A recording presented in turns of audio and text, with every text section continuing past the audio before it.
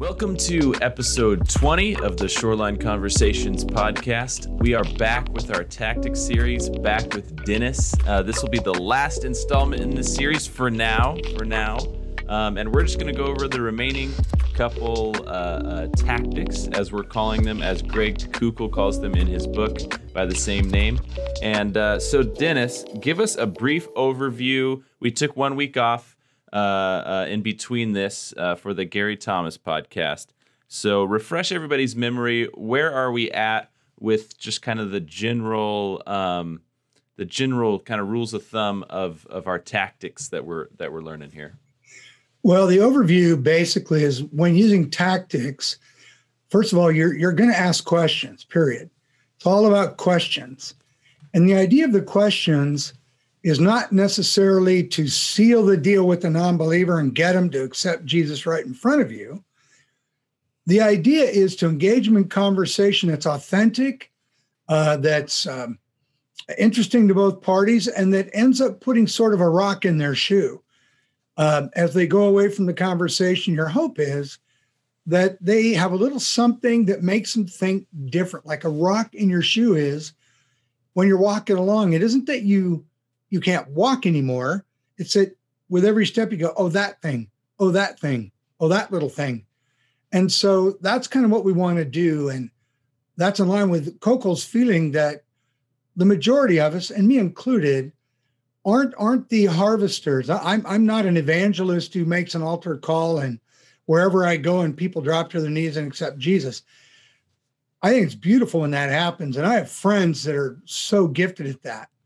But I'm like most people. I'm a gardener and I'm happy to get my my uh, feet wet, my hands dirty, tilling the soil. Um, metaphorically speaking, asking questions and listening intently and honoring people by trying to draw them out and share how they think the way they do and how they came to the opinions that they hold so that we can dig a little deeper and maybe, just maybe along the way, we can help them see errors in thinking, uh, positions they hold that have no real merit to them, but in a gentle, kind way, a humble way, that, that again leads them to put a rock in their shoe and perhaps leads them to be more open over time to the Holy Spirit touching them and drawing them to Christ. So that's that's the overlay. Beautiful. All right. So we are we we've talked about a lot about specifics. Uh, um, if you're just tuning into the podcast, I recommend you go back and listen to our other tactics. But our next tactic, that being said, trying to put a rock in people's shoe, uh, having those conversations that are authentic and interesting for both parties. Our next tactic is called sticks and stones, uh, which kind of revolves around maybe when that goal goes awry. Um, what uh, what's uh, what's sticks and stones? What's that mean? Uh, glad you asked. because sticks and stones, the only reason Koukl uses it is it's a uh, it's a folklorism, so to speak, that uh, kids are raised with over and over and over again. I was I was born in '52 and I was raised with it. And when you come home and you're hurt and you're sad and parents ask why, you say that Donnie called me, you know, a, a warthog or something. I don't know. And I'm kind of wounded. And the parents say, Well, you just tell them sticks and stones or may hurt your bo- or may hit your bones or something, and words will never hurt you. Yeah. But the reality is, when you're a kid, they do hurt you, and either from parents or peers, they do hurt. But Koukl grabs the phrase so that we can have some sort of anchor to understand that when we're called a name as a mature adult, we have more defenses against letting it go straight in to hurt us we can actually bring out some questions that prevent that from going in, from us taking it personal, from letting, letting it harm us, and sort of hand the ball back to the person using the name or the label. So when someone in the course of a, dis, um, a conversation or an argument, even if it's gotten to that point or a debate, they say, well, you're just a hater or you're just homophobic or you just hate this group or that group and uh, anything like that rather than say hey don't tell me that or don't call me that. What about you? Which is sort of a deep seated human response, lex talionis, you know, the law of the talion, fire back at them with what they did to you. We, we pause for a moment and ask questions. Again, for example, if someone said to me, um, You're an independent, so you must be really one of those Republican types and you you just hate freedom. You're a hater. And I'd say, well, huh. Let me can I ask you something? Sure. When you say hater, what do you mean? Tell me more about what you mean when you say hater. Uh, and I want to know what they mean. And if they won't answer the question, well, we, we don't have anywhere to go anyway. I would finish with a statement of, well, I, I don't believe that's true. Right. That's what I would say. But so, but what if they did say, well, here's what a hater means, and they gave me more detail, like, um, well, independent isn't a committed liberal, so that must mean you don't want diversity, you don't want health care for all, you don't want this, you don't want that, you must be against this or that. I would say, well, you know, you haven't asked me about any of those issues, and I haven't shared with you any of my positions on those issues. So so let's talk more about what do you mean by hater, and if how it came to be that you presume I have a position on those issues.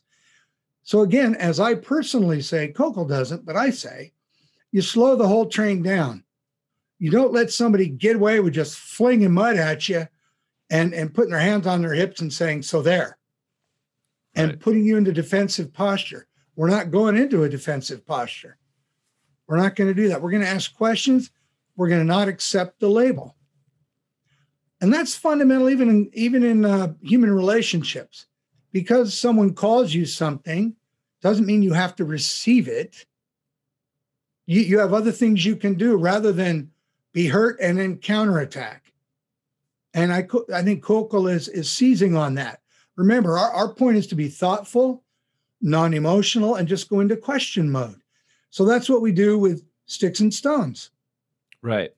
Is there um is there uh, uh there's value it seems like uh, I I guess I'll say this more as a statement but it seems like there's value in it's not just getting deeper in the conversation but it's also defusing uh, what is often the beginning of of the rise you know of uh, of temperature in the room uh, once right. the first name is thrown out that usually is uh it, it, you're in very dangerous territory is this asking questions um i mean th- this is a sort of obvious question but um asking questions about why they called you that rather than responding with uh, the same um, is their value not just in uh, furthering the conversation but also lowering the temperature in the room yeah i think there is um, because people call names for a number of reasons, but two primary reasons are one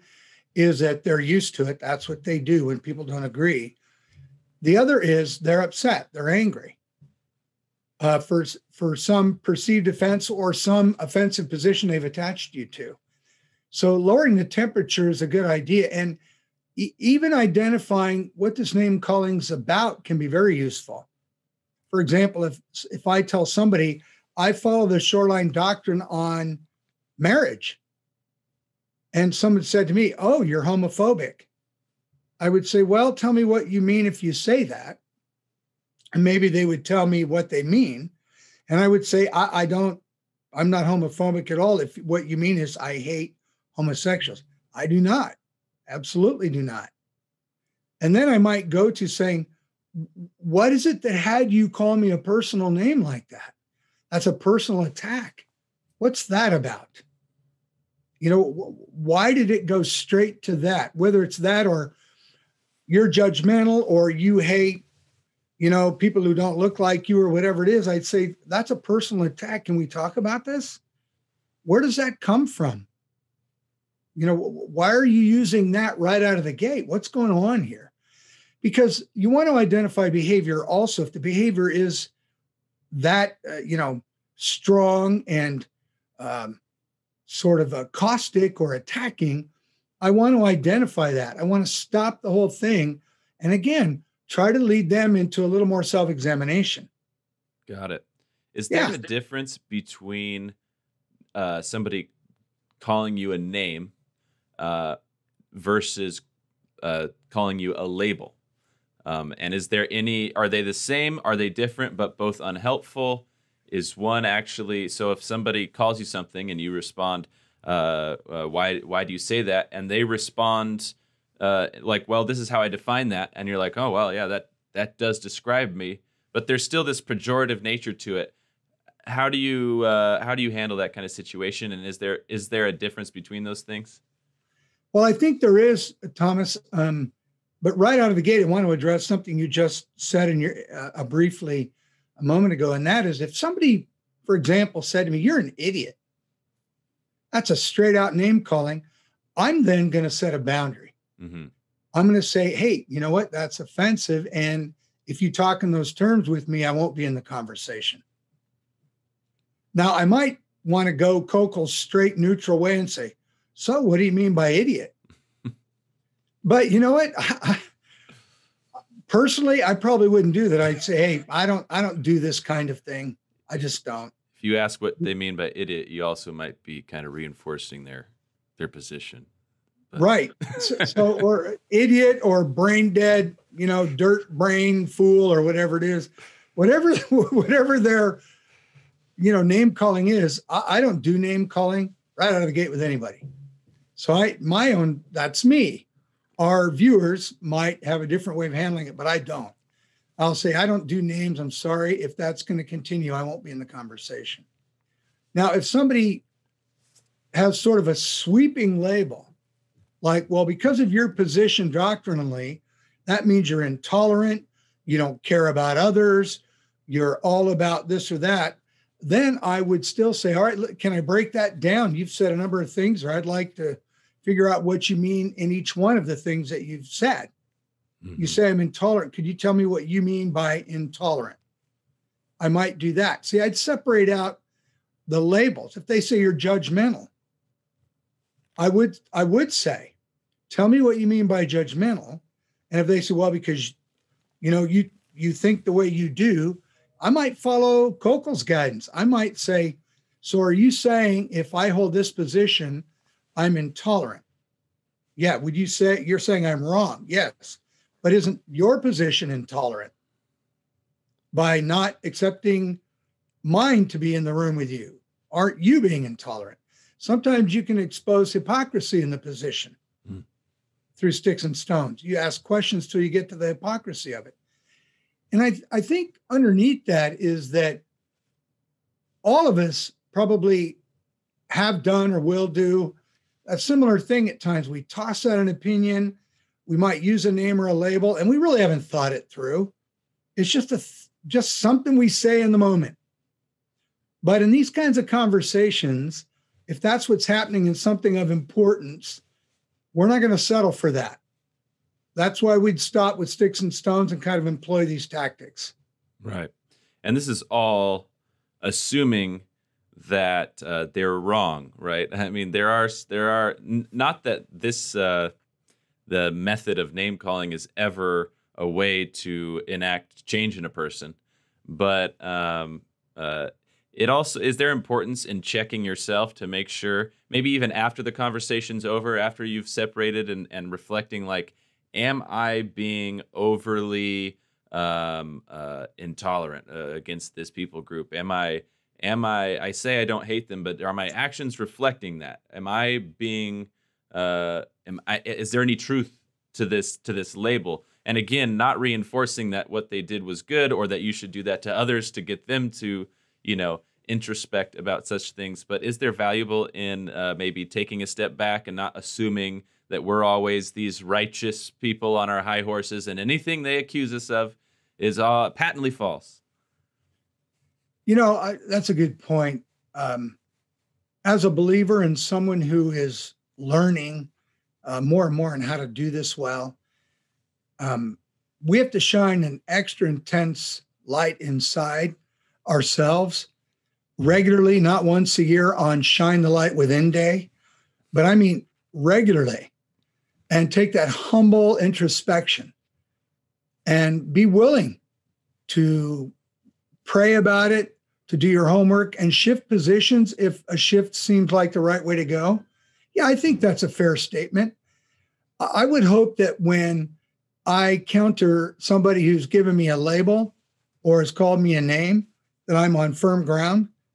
But again, I don't want to establish my firm ground right now today and hold to the exact same things I'm saying every day for the next 10 years. I want to be in constant prayer, reflection, Bible reading, Bible study, and ask the Lord to convict me. If I need to change the way I see a thing, I need to allow Him to convict me. So it, really is, there's no arrogance possible in these tactics and have it be effective in the way it's designed. Pride and arrogance must be confronted at every turn, and introspection is critical. Beautiful, beautiful. So, is there anything else in this sticks and stones tactic? Um, is uh, I mean, I guess the the the goal would be to either expose the uh, expose the you know the the unusefulness of their name calling or the hypocrisy, like you said, but also to kind of get the conversation back on track, right? Right. It's to get it back on track, and that can go back to the two original questions in tactics if it's back on track, then you can go to what do you mean by that? Mm-hmm. And how did you come to that position, that view, or that conclusion? Now you're getting to some meaningful uh, exchange. Got it. And hopefully you can get past the name, past the label, and get to the meaningful exchange, uh, going back to over and over again the original two questions in tactics. Beautiful. So assume we are successful and uh, We've kind of broken down the names or labels and, and we've moved past that onto back to the meaningful conversation. Our last tactic, uh, Koukl calls just the facts, ma'am. Uh, it's got some some interesting titles. Explain to us uh, what this one is. Well, I got to tell you that gave me a touch of nostalgia. I'm like an old dude, and I watched Dragnet live. All right. I have no idea what you're talking about right now. It's an old police television show with Joe Friday and his sidekick, Harry or whatever, who went on to star as the uh, Colonel in MASH. And they had various uh, criminal behavior they had to address in each episode. And at least once each episode, when Joe Friday is interviewing somebody, he stops him and says, Just the facts, ma'am. If they're embellishing or you know weaving all over or you know getting overly emotional he just say just the facts ma'am. Thereby affirming that police work is done through facts and evidence of course of course well, that's yeah. the point of the whole show mm-hmm. so Koukl's got to be at least as old as me or in the ballpark because otherwise why would he pick this phrase from a show you've never heard about, Mr. Ryan. yeah. I, hey, I'll have to YouTube it later. You know, I'm sure. Amen. It's all, I'm sure you'll be hooked. There. I'm telling you, you'll be hooked. There you go, Joe Friday. I, will tell you what. That's a that's a A plus name, Joe Isn't Friday. It? That is beyond cool. There's not enough O's and cool for that name. so true. So what do we? What is uh besides the uh the callback? I I know isn't uh, uh, the Columbo tactic is based on an old show too. This guy likes old cop shows. I think we can say that for sure. uh, we we this whole tactics thing may be loosely based on on uh, old uh, 60s uh, and 70s uh, cop shows. yeah. but but if you dig a little deeper, what's he trying to say with with just the facts of him? I think we can probably get a little hint yeah. at your description of of a, a detective interviewing somebody and just trying to strip away all the all the uh, uh, superfluous stuff and and get just to the facts. Is that an accurate yeah. kind of description? Yeah, I think there? it is. And um, many times in conversations, especially with non-believers or skeptics, uh, as such, statements will be made by them about or, or information or an opinion given, and I'm listening, or whoever is having a conversation listens and saying, What? Where did you get that? You know, one of the classics is uh, related to the Crusades. You know, the Crusades and the Crusades, they killed millions of people. That's what Christianity does. Throughout history, Christianity has killed millions of people. That's religious wars, just religious wars. Well, if you've done your homework, and by the way, to use just the facts, ma'am, well, you need to have the facts. Mm-hmm. Um, you, you can't do this very well if you don't have information. So it's really important to get information. One of the reasons we're going to offer the best answers to the top 10 questions skeptics ask about Christianity here at Shoreline in a small group curriculum that uh, is in development right now here because we want people to have the facts. So, for example, um, scholars would say in the last 5,000 years, there's been over 1,970 uh, something wars acknowledged, wars, big time wars. And out of all those wars, 7% or less were deemed to be religious in any way. Uh, or, yeah, 7% or less. So, what does that say? First of all, the idea that uh, Christians just kill people and it's the number one reason, you know, people die in wars is absolutely ridiculous. And if you look at outright atheists uh, from the last century, uh, Lenin, Stalin, uh, Mao Zedong, all of them, who were avowed atheists and crushed religion in their country. They killed right around 100 million people. Well, there's nothing in Christian history that even a- approaches that. So the idea as one of the reasons I don't follow Christianity is because the church, Christian church, has just wiped people out through history. It's it's the number one cause of death, and that's just ridiculous. So I would have that information and and look for a way to present that. Um, there's all kinds of other situations I can think of. For example, one comes up with the argument against capital punishment, and I'm not I'm not staking my my flag here in a position, but I'm saying the argument can go like this. Well, the Ten Commandments say, "Thou shalt not kill." So killing is wrong by your own Bible. Well, that's misinformed. Uh, we know both in the Hebrew and the Greek uh, thou shalt not kill, the direct interpretation makes a distinction between killing and murder. Murder defined is killing without justification. So, killing with justification is not what's intended in the commandment. So, if people rest on that and say that's the case against capital punishment, I would say that can be your case, but it's not a biblical case hmm. because you've got to dig a little bit, figure out what the Greek and the Hebrew mean when translated to really uh, make that claim. And there's so many other situations where people present an opinion as fact or as solid data or information. Mm. And and it's just not accurate. But if you don't have the facts, you won't know it's not accurate. Right. And and if you try to engage in that conversation, it becomes a debate and you can actually do the kingdom a disservice by losing ground in the debate by not being prepared there's a there's a lot of different questions that come up with that and i think that's i think this is a really important one a lot of this uh, a lot of the tactics book from Koukl and our conversations a lot of it i mean the books is itself it's tactics it's how to navigate these conversations and i think it's really useful uh, really driving the idea of of asking questions as kind of a, as the big tactic and just the different nuances of that. But having the actual facts, I think, is is huge, and especially today.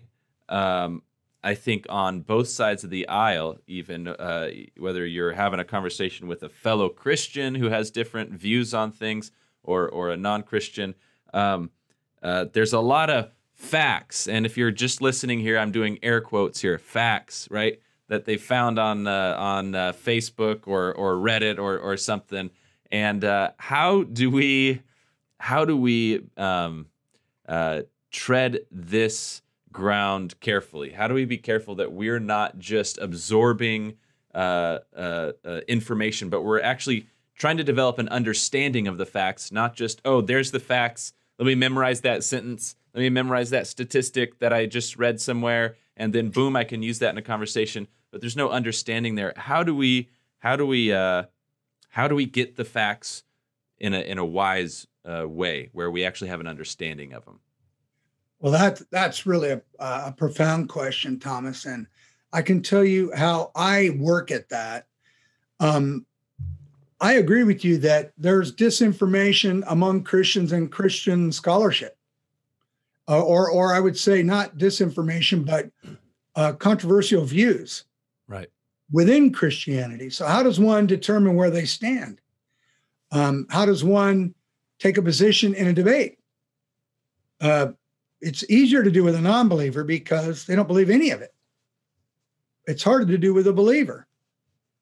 So, how do you figure out what your position is? Number one, this may seem uh, overdone to some, but it's not. For me, first of all, I pray. And I ask God, I said, Lord, I want clarity. I, I, I want your Holy Spirit to guide and direct me because I'm at the I'm at the mercy of mankind's attempts at scholarship and man's, you know, various reasons and motivations for living the way they do and and studying the way we do and promoting institutions the way we do. So I need freedom from that. I, I need your guidance. And I'm willing to change my view if you show me. So that's the start. Next, I think every believer um, ought to build up what they believe after you know careful examination their go-to's in terms of base of information and data uh, I do. I have certain people that are, I think, time tested that I've prayed about, and it makes real good sense to me. It's well done scholarship. Uh, they're adept at uh, reading Greek and Hebrew, and and those those are the places I want to go. I also, when I look at history, like historical accounts, what I want to avoid is hysterical accounts of historical accounts. I just made that up. Isn't that kind of cool? I, I, think we need to patent that uh, immediately. There's a T-shirt in that yep. copyright. Yeah. But the idea is, uh, for example, Dan Brown, the Da Vinci Code. I remember when it came out, and it it presented itself as historical in in in uh, fact, and that what it was doing through the story uh, was exposing falsehoods. Well, for the average person, the scholarly explanation of the stance of the Da Vinci Code theme was was overwhelming. It's like, wow, these people really have exposed the truth. They're, they're really countering everything I thought was true. So now where do I go? Well, then I want to dig deeper. I want to again go find those reli- pray and find those reliable sources and, and another thing we do is suspend conclusion until we feel like we've really charted a course uh, based on the evidence that's available. And suspending conclusions is very important to me. Mm. And oftentimes I talk to people say, So what do you think? Huh? Right now, what do you think? I'll say, I'm not ready to tell you what I think. Why not? Are you afraid? I'm not afraid. I'm not ready. I need to read more. Mm. I got to learn more. Uh, you, you just threw that out there. And I might even say, so I, I, presume you've done that. You've spent a great deal of time reading and studying and objectively investigating. That's what Nabeel Qureshi would say. Are you objectively investigating? And I learned that from him. And so that's how I want to look at it.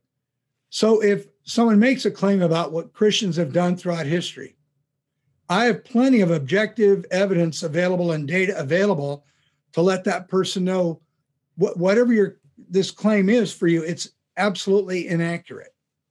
Or or if somebody somebody like um, oh even in the Da Vinci Code that makes a statement that uh, the Nicene Creed, Council of Nicaea, was really a political move to kind of create a myth, and it barely passed the vote of the 320 bishops present.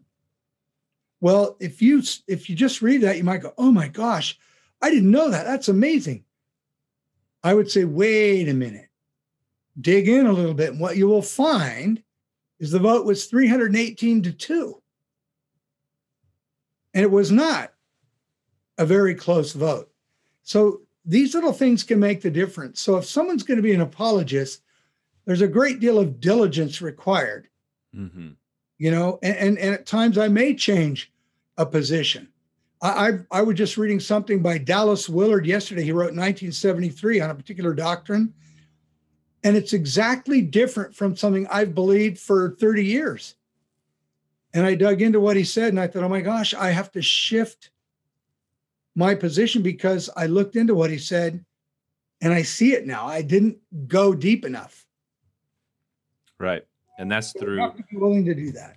and through reading i mean dallas willard's a great example uh, a fantastic christian mind you know doing the hard work of of reading books not just posts on on the internet. And i'm not saying the internet's not a great tool there, there's a lot of amazing information out there uh, but it's it's just easier to get um, little tidbits you know rather than the depth that's required for these topics. Um, I love a lot of what you said there. Um, uh, I mean, I loved all what you said there, but uh, um, I just wanted to make sure people know when you say objective investigating, um, just just in case I, we may have covered this on the podcast before, but explain to us objectivity versus subjectivity. Those may not be familiar terms uh, uh, to people, and I think it's probably useful, especially in this tactic when we when we talk about objective facts versus subjective uh, you know, uh, viewpoints or opinions? What's right. objective versus subjective? You know, for me, Thomas, a good example is Lee Strobel's uh, book Case for Christ. He wasn't even really objective at fully objective at the start. He had an a priori position, meaning a pre-established position. His quest was to disprove Christianity. However, he had enough objectivity from being an attorney from having the habit of weighing evidence, uh, from having enough courtroom experience to know that no matter what your opinion is, the evidence may overrule you or outweigh your opinion. So he took his a priori position, but retained some objectivity and went on a search, meeting with great scholars with specific points, going in there and challenging them to prove it. Mm-hmm. But ultimately, he looked at the evidence they presented and it would and it changed him. It changed his position in every case. So that's what i mean by it. Otherwise what we have is confirmation bias. And we hold a position that we arrived at somehow some way. And when we encounter somebody who doesn't agree with us and perhaps it's someone well versed in tactics and they're asking questions we're being forced to look at evidence and talk about how we arrived at our position and, and confirmation bias would suggest that even if we're being pulled away from our position by evidence and facts, we we refuse to give up our opinion. We mm-hmm. hold on to it no matter what. So objective investigation would say that I'm I'm not going to let my confirmation bias dismiss the weight of the evidence. Got it. And that takes focus. That takes attention, so, self-examination. Got it. So objectivity being um, something where you approach a situation not with your own ideas in mind. Subjectivity being uh, something subject, us being the subject. Um, it's it's the point of view. It's a biased point of view, which is okay sometimes. You know, if we have biases, you know, I may subjectively love Marvel movies more than DC movies or something like that, and that's totally fine. But in these situations, in these conversations, we're trying to look for that objectivity, not, uh, you know, we're taking the best we can, removing ourselves as the subjects out of the, the conversation and looking at the object, the objectivity right. um, as it stands on its own, right? Right. And some opinions aren't subject to objective evidence. For example, I was in a class years ago in college, and the professor just blithely interjected that Italian food was the best food ever.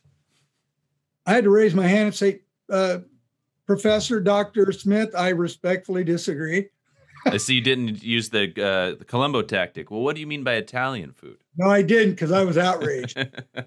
of and course. deeply personally offended. As you should be. As you should be. Nothing against Italian to, food, but I, I, have to differ with you. However, it's not an objective uh, situation. It's unprovable. Like, you know, do you like um, the beach? Which you think's best for people, the beach or a hike in the mountains? There's a lot of things that don't lend themselves. So you can have your strong opinion, but you cross the line if you try to prove why your position is correct. Right. There's many things that don't lend themselves to objective investigation and evidence. They're Beautiful. just preferences and they're irrational and they don't have to be rational. But in, in conversations with tactics, there is plenty of evidence available. True. So that's that that is the last of our tactics. Um, where where what do we remind us what we seek to accomplish in these conversations? If we've gotten through a conversation, I mean, unlikely we'll we're we'll unlikely have conversations where every single one of these tactics come into play, right? I mean, right. we we Probably hope yeah. right. And, and, and I mean, uh, ideally they wouldn't. You know, ideally the sticks and stones tactic wouldn't come up. Um, but however it, it forms itself, um, remind us of the goal of these conversations. Uh, what are we trying to accomplish by uh, sharpening up our tactics here? I know the word tactics can sometimes seem a little manipulative. Uh, manipulative. Uh, remind us why we're doing this. Well, we're doing this because you, you hit the key word conversation. We want a conversation. We don't want a battle. We want a conversation. We don't want a, a, a verbal fist fight. And we want to be able to have something we can do if someone near us or around us is tossing out this blatant truth claim that we know has no basis in, in reality. Um, but we want to engage them. We don't want to push them away, and we don't want to do, like, again, the verbal fist fight. So, tactics is designed to give us a way to engage with someone who makes a, a truth claim and, and sort of draw them into a conversation. And so Koukl seized on Columbo, and the image is beautiful. And, and if any of the viewers or listeners here haven't watched a Columbo, you'll only need to watch one episode to totally get this. In, in, in tactics, you become the bumbling detective, Lieutenant Columbo. You, you approach it with humility, self-effacing behavior, self-deprecating you know, behavior, but but cleverly just move in and ask things that draw the person out and expose things to the light in a way that's the safest way possible. Mm. You're not calling anyone out, you're drawing them out. You're using their own position to ask more questions. So anybody anywhere can use the first two Columbo tactics. Uh, all the rest you may use uh, as they come up in individual situations, unique situations. But the first two are are are so useful for almost any conversations of this light of this type. What do you mean by that? And how did how did you end up thinking that, or what's your view, or how did you get to that conclusion? I'm using this stuff all the time now mm-hmm. in all kinds of conversations that aren't even related to Christianity. But when somebody makes a bold truth claim, whether it's my kids, my in laws, or anyone else, I'll just say, okay, that's interesting. So you're, you're thinking this. Remember, you ask them what, what do they mean by that? Once they tell you again, you say, okay, so your view is. And the idea is you've now encased it, you put it in a little case on the table in front of you. Their view is now there. Right. Then you ask, so how did you get there? And you put that on the table. And from there, you have a lot of things you can work with, a lot of directions you can go. But the idea is you give anybody who uses at least these first two tactics a way to stay in conversations that maybe in their life before they haven't known how to stay in the conversation, or they walked away thinking, I wished I could have said something. I, I really wished I knew how to. Well, we're saying even the first two questions will let you dig in mm-hmm. and hang in. And if you start practicing it, you'll find the other tactics will come up more for you in the different unique situations, all to put a rock in somebody's shoe to help them eventually think a little differently. Beautiful. As a harvest it, or as a gardening, it's just gardening, tilling and planting the soil. Beautiful. And so, if anybody's interested, the book is Tactics by Greg Koukl. Uh, I think if you're watching, it's it might be backwards on your screen there, the way the camera's set up. But uh, it, it, very interesting, and like you said, even using this outside of even conversations about faith or or whatnot, super useful. Uh, I, there's a lot of G- Koukl's own ideas that I'd probably disagree with. Uh, some reading the book, there's some things that I'm like, okay, uh, I'd probably have a great conversation with Kukel. We'd we'd uh, Columbo back and forth each other, but but really embracing uh, the uh, what he's saying about how to have these conversations, I think is really valuable. Even you know, despite what you think about uh, Greg Gregory's in some of his I- interesting examples. Um, Right. And Here- one more thing, Thomas, Yeah. people be on be on the lookout in the middle of March. We're then going to be offering uh, Wednesday night classes, three tactics two classes, and those are actually using these tactics in real life situations and practice practicing those. Beautiful. That sounds great. Well, I was actually just going to ask, um, uh, where do we go next? But I'll, I'll say, what do we do until then? So, say somebody's picked up the tactics books, they've read it, they've listened to these podcasts, um, they're hungry for more. Uh, do you have any other resource recommendations? Any speakers, debaters online that you uh, like that kind of uh, scratch that itch and just continue, um, you know, maybe a hungry mind?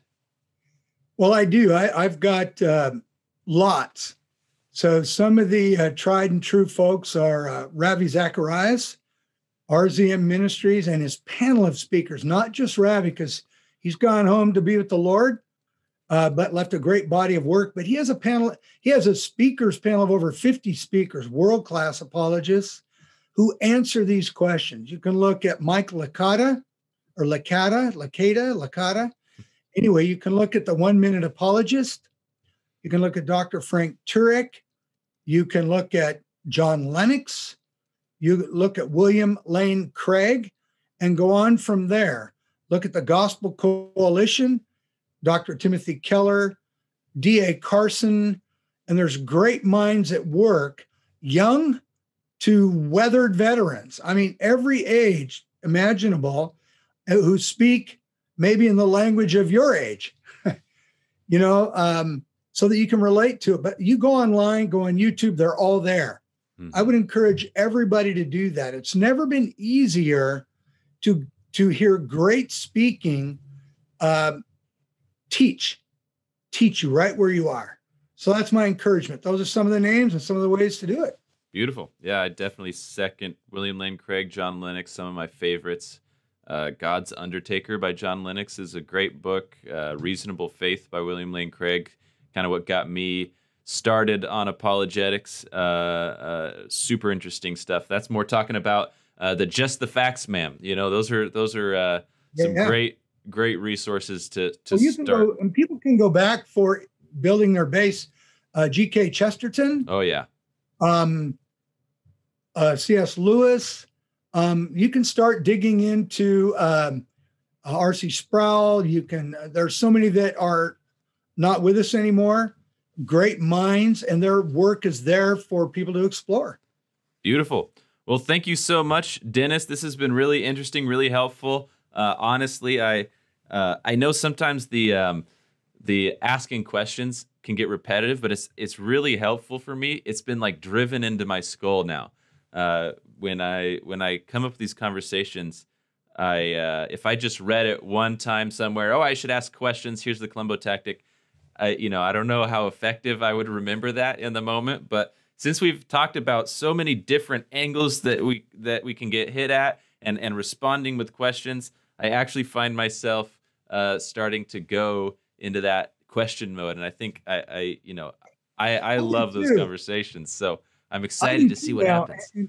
I want to comment about you and as an interviewer. I- In the words of Robert De Niro, in the movie "Analyze This," you have a gift, my friend.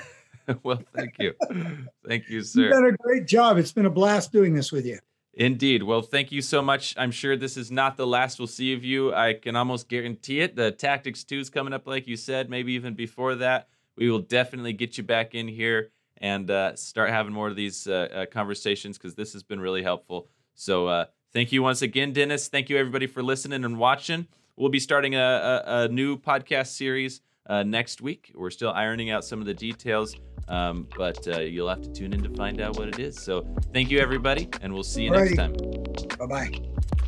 Whether you're watching on our YouTube channel or listening on your podcast app, make sure to subscribe to hear more of our weekly episodes. Thanks for listening.